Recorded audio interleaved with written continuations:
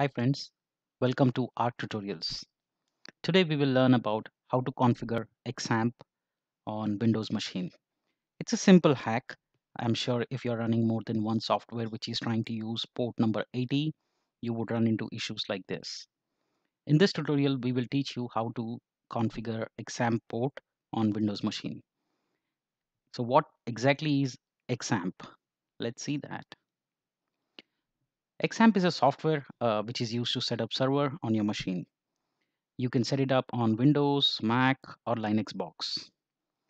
XAMPP comes with Apache, MariaDB, PHP, and Perl. It also includes MySQL installation. The XAMPP software also comes with multiple apps like phpMyAdmin, through which you can manage all of your database necessities. So let's get started and I'll show you how to configure the port.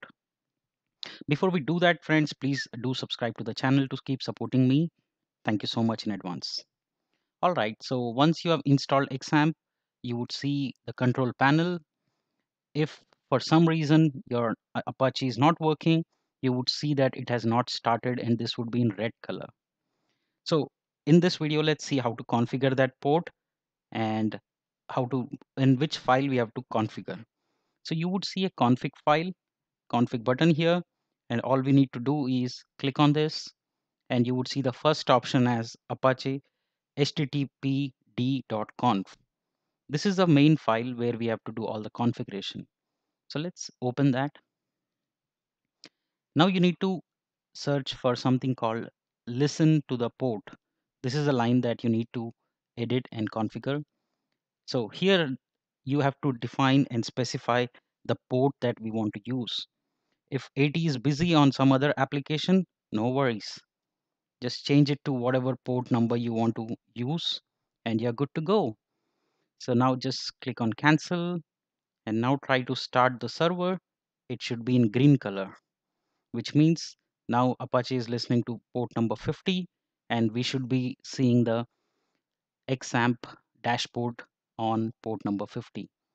So configure config, go to the file up httpd.conf. If you don't find it, you can find it in the folder as well in Apache configuration. Go to the browser and type localhost 50 and there you are. You can see that Apache is running on port number 50 for us now. That's a quick simple hack. Uh, so all you need to remember is go to httpd.conf file and search for file listen and change it as usual if you run into any issues or you need more help feel free to drop your questions and queries in the comment section I'll be happy to help you. Thank you so much for joining. We'll be back with more tech hacks on our Tutorials channel. Thank you so much.